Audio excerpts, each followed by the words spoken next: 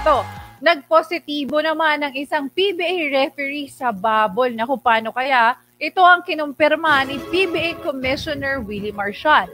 Ayon kay Marshall, ang referee ay asymptomatic at ito ay nag-swab test ong lunes kasama ang 20 27 na iba pa kung saan negative ang mga ito.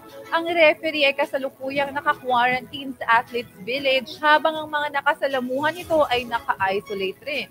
Siniguro naman ni Marshall na wala umanong nilabag na safety protocol at tuloy pa rin ang schedule ng laro.